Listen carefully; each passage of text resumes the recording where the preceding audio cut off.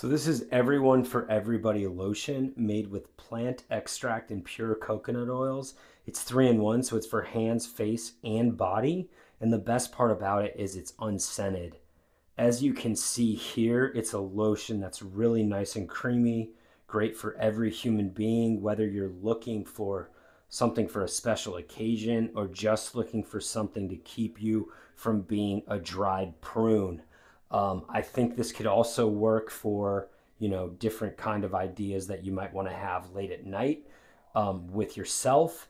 Um, I think at the end of the day, like just give this a shot. I think you're not going to regret it. It's got a nice sound, which gives you kind of that you know that sound that you're looking for. It also is going to moisturize your hands, your face, or your blank.